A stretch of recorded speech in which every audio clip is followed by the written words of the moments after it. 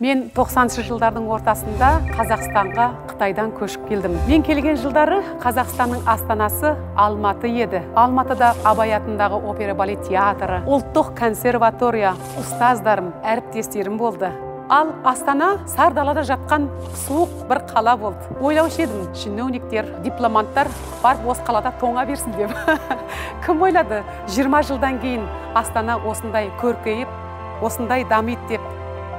Мінекей мынау астана опера ғаламат өнер ордасы ғаламат сахна. Әлемнің әр ұлы әншілері музыканттары мамандары осы сахнада өнер көрсетуді өзіне мәртебе санайды. Болашаққа деген жоспары ауқымды. Туған күніңмен астана.